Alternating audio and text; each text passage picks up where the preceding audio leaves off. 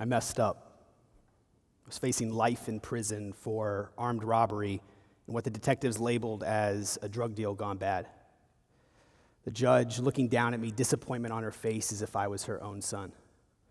I had on a navy blue jumpsuit. Shackles ran from my ankles up to my wrist and around my waist. But the thing is, I had no business being there. I came from a good home, a loving family. My mom, she taught me God. My dad, he taught me sports.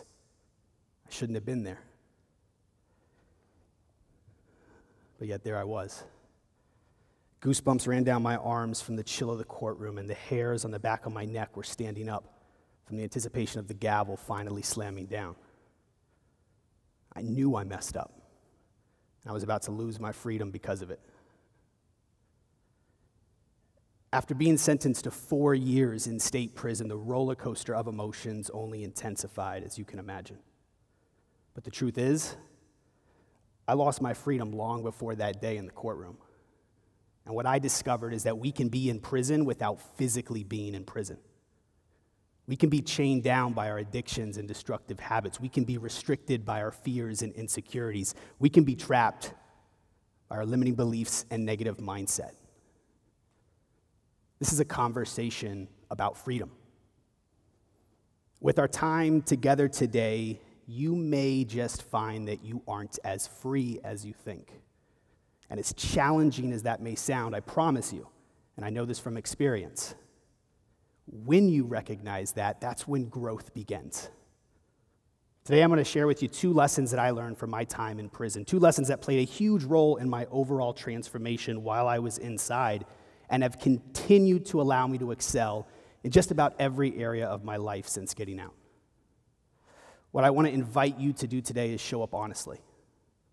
I want to encourage you to ask yourself where is it in your life that you may have constructed your own prison walls? And together we'll take the first steps to break free. Number one, have a game plan. Have a game plan. Before that day in the courtroom, I was in county jail. County jail is like the holding tank, it's where you wait to see the judge and answer to the crimes that you committed. Now, I had no idea how much time the state was going to offer me. I mean, you can imagine my, my family was a wreck, the pain, the embarrassment, the, the hurt that they were going through. At times I felt like I should just push them off, I should just do this on my own, but I could always count on them being there for me. I could always count on them answering the phone and talking with me. Some conversations better than others, of course, but they were always there. I remember one call in particular I'll never forget. I had an aha moment that day. I called my dad, I said, Pops, I don't know how much time I'm going to get, but I want you to know that I really, really want to change. In fact, I want the exact amount of time God wants me to have. Not a day earlier, not a day longer, the exact amount of time I need to make this happen. He said, All right, son, we're going to get through this. That was the first moment that we had hope for the future. Now, a couple months go by, the state offered me a plea deal of four years, which I accepted.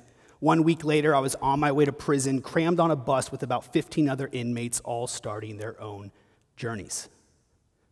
Now, arriving in this new world, I had the best of intentions. Remember the phone call, right? To stick to a routine, to stay out of trouble, to create the changes that I wanted. The problem was, I had no idea how to actually do that.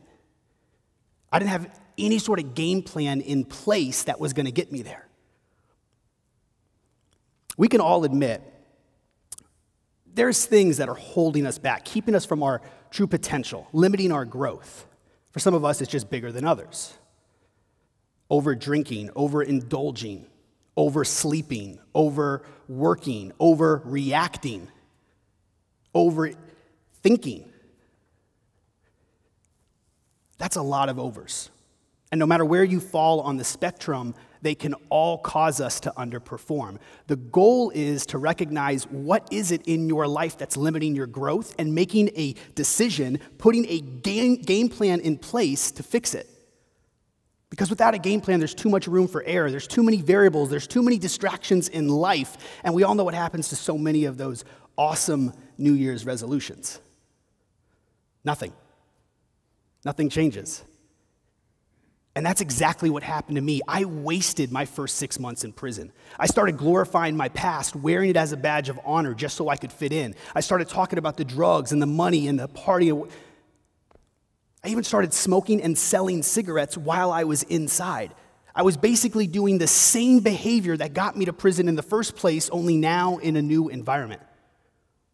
I remember saying to myself, Erik, what are you doing? What are you doing? You're going to throw this all away. You're going to waste this four years. You're going to come out the same, if not worse, if you don't change. And let me ask you that, that area that you want to see growth in, that change that you want to make happen in your life, six months from today, one year from today, if you're in the same place getting the same results, how are you going to feel? That was the realization I needed that I had to do something different. And at that six month mark, I recognized that I had to face my biggest enemy up until that point myself. At times, have you ever felt like you could be your own worst enemy?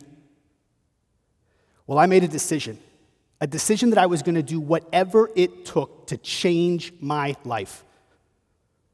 And it started by simply reaching out and asking for help. So I called my brother Jeff. Now, Jeff and I, uh, our stories are slightly different. You guys will see. There's just a few small variables. So he graduated from Stanford University. Uh, he went on to become a professional tennis player, top 100 in the world, had one of the fastest left hand serves of all time. He then went on to become a successful entrepreneur and high performance coach, or simply put, the golden child for short. So I called Jeff. I said, Bro, listen, I really want to change. I do. I just, I have no idea how or where to start. I don't know what to do. He said, Okay, I'm going to send you two books. I want you to start by reading those, and then afterwards, we're going to, we're going to get on a uh, call, coaching call once a week. And together, we created my game plan. For the next three and a half years, I relentlessly pursued all things growth. I discovered a hidden talent for public speaking I had no idea existed. And speaking in prison is great, by the way. Your audience, fully captive, not going anywhere. They're locked in, all right? I helped set up workshops and masterminds in the dorms, all in hopes that other inmates would make a decision to break free. That was the title of one of my talks, Break Free. Yeah, that didn't go over well with the guards at all. Bad choice of words there. But I was finally taking intentional steps, intentional action steps that were, you know, that, that was going to get me to the place I wanted to go. And guess what? I was finally seeing results. And that brings me to my second lesson stretch your comfort zone. You have to be willing to stretch your comfort zone. I remember one day, completely normal day. I'm out on the rec yard, I'm doing some pull ups, I'm doing some dips, some push ups. I ran the track a couple laps. We have a beautiful scenery, this nice barbed wire fence sur- uh, surrounds the whole rec yard. Uh, I'm on my way back to the dorm, but I wanted to stop by Canteen to pick up a few items. You know, for, we're going to cook uh, that, that night. So I got some ramen noodle soup, some honey buns. We try to eat very healthy in prison. And, and so this guy comes up to me. He's like, hey, Erik, man, you got to come to this class tomorrow. I said, what class? He says, it's called Gavel Club. I said, what's Gavel Club? He says, it's all about public speaking. I said, public speaking? He's like, yeah, man, we talk about growth. You should check it out. I said, okay, I'll, I'll think about it. So I go back to my dorm, and now I have this invitation on my mind for the rest of the day, for that night, and it was racking my brain because up until that point, my personal development journey had been private. Some of my thoughts came from fear, some came from ego. Ego sounded a lot like this Man, these guys aren't doing what I'm doing. They're not making the changes I'm making. They're not taking growth seriously. I've already got my morning routine in place, so if I go, it's just going to mess it up. Yeah, I don't know if this is for me. Fear sounded a lot like this Well, I've never given a speech before. What if, what if I mess up? What if they put me on the spot? What if, I, what if I freeze? What if I don't know what to say? I look stupid yeah, yeah, I don't know if this is for me. You see, we will do that to ourselves. We'll start overthinking and we will talk ourselves out of doing something good for bad reasons. Let me ask you, let me ask you, where in your life have you let comfortability keep you from growing? Where have you let fear stop you from taking action?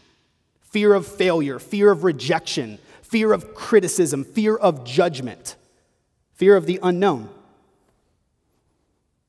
What or who in your life have you been avoiding because it's painful or uncomfortable to face? If I wouldn't have felt so convicted to go that day, I would have stuck to my morning routine thinking everything was fine.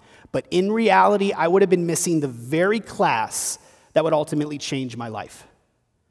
The very class that was the catalyst to me being on this stage in front of you today.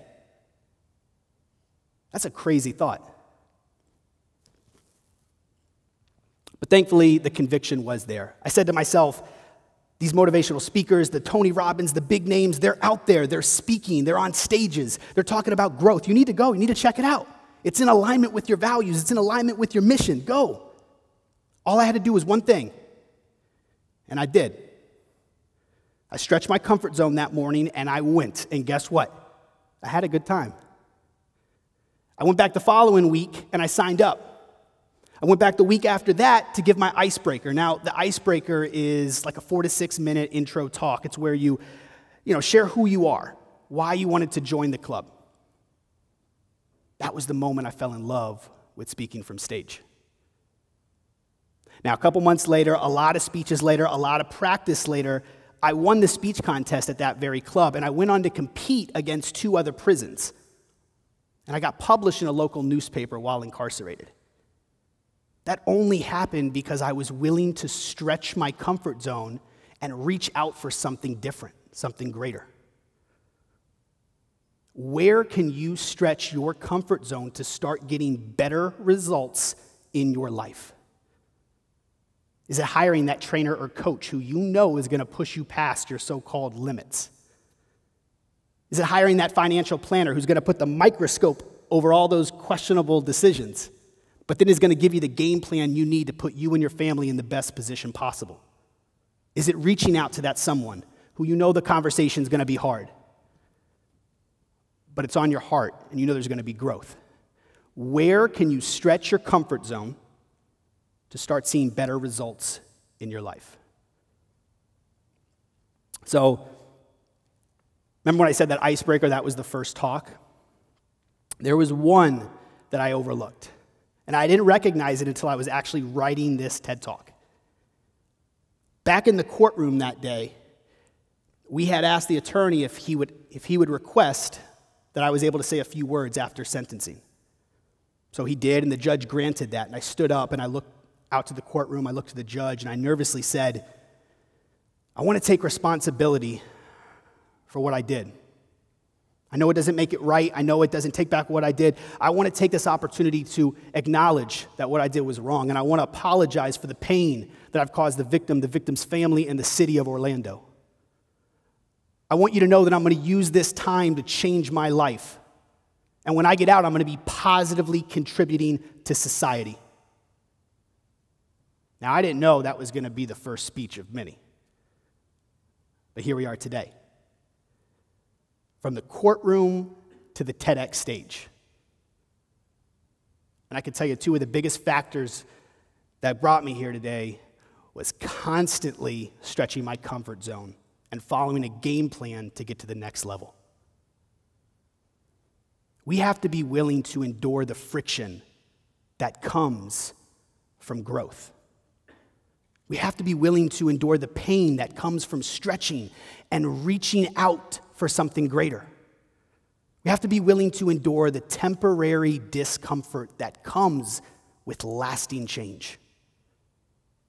We have to be willing to go from prison to prosperity. Thank you.